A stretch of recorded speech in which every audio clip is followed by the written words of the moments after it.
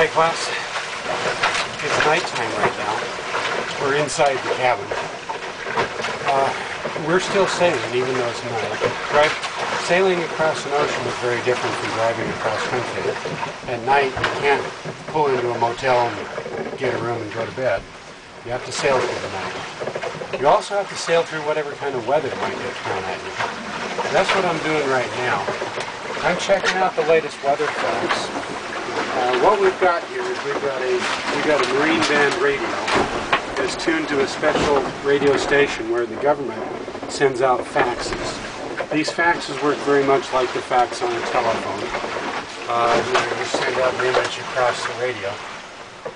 In this case, what they send out is weather reports and weather maps so that we can see what weather hap would happen to be out there. Uh, normally, when you sail to Hawaii, the only things you need to worry about are some nighttime squalls, squalls. But right now, we got something to worry about. Let's take a look at this. What, uh, what the weather report is showing is that there is a hurricane that has formed. Now this, this thing wasn't here when we left San Francisco 10 days ago, but a lot can happen in 10 days. So this hurricane has formed in the waters the southeast of where we are. So it's very important, whoops, the new fax just started coming in. So it's very important that we track these uh, weather faxes so that we can change our route as needed in order to avoid hurricanes and things like that.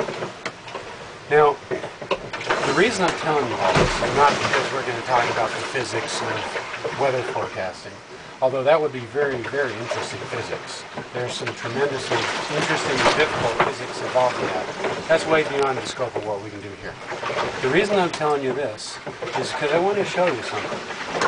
I'm going to I'm going to take one of these faxes. In fact, I'll take this fax that we were just looking at. I'm going to put it up here on the screen so you can see it. And I want you to notice it's a nice, clear, easily re readable fax. Okay, then I'm going to take another fax that we recorded earlier and I'm going to put it on the screen over here.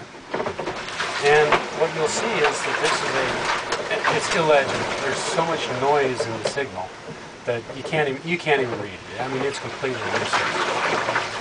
So what I want you to notice, what I want to point out to you, is that this is a pattern that you've seen for the last several days.